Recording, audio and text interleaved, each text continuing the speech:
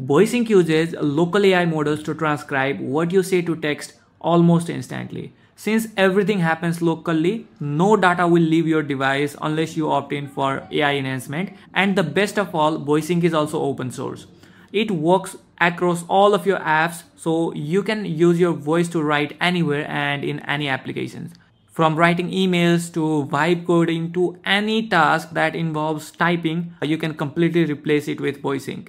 Let's talk about the major features of VoiceInk. It uses local AI models to transcribe with near perfect accuracy and for most of the languages, the popular languages like English, Spanish, German or Chinese, it is very accurate and there are tons of other languages that are supported but they are slightly less accurate than these popular languages. And since all the processing happens locally no data leaves your device. You can use global shortcut key you can use the push to talk key as well in order to record. Also you can switch between different modes by using keyboard shortcuts such as right now you can see here i'm using VoiceInk to record and you can just press the shortcut to switch between different modes like this.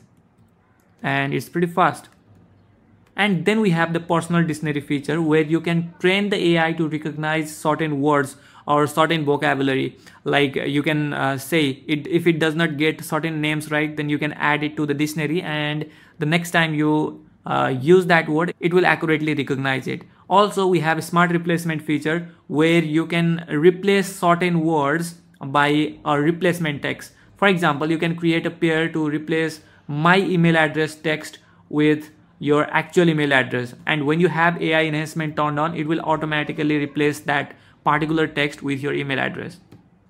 Then we have one of the most important feature that is context aware feature. Context aware feature will automatically detect what you are working with right now, uh, what is currently on your screen to improve the accuracy of the application. Also remember that the context awareness feature is only used when you are actually starting to record and it does not send any of your data to the outside server. All of the processing happens locally unless you opt in for AI enhancement for which you will need to use API keys from the pro given providers. Then we have assistant mode which will allow you to use VoiceInk as a conversational assistant. Let me show you a quick demo.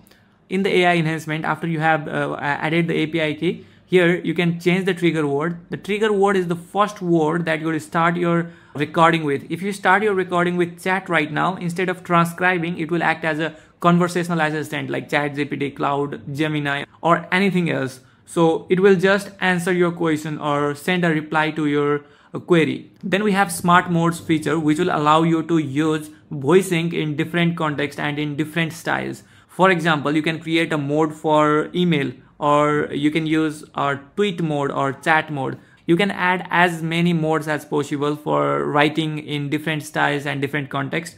So I'll just enable the app and you can see here currently we have this meeting mode. You can switch between these different modes so that the formatting of your transcription switches to a different mode. You can see the example here. The chat will look like this.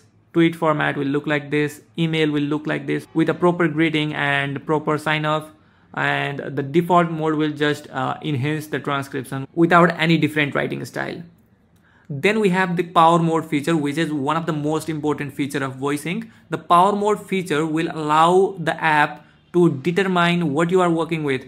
Like let's say if you are working with Arc browser, you can set a different configuration for Arc browser. You can set a different configuration for Discord. You can set a different configuration for Slack and it will automatically detect what app you are using and if you have set a pre-configured setting for that particular app it will use that setting and it not only works with apps but also with URL. So if you are working with email and you have set the email mode, it will automatically apply the email mode. If you're writing on Medium, it will automatically switch to the writing mode.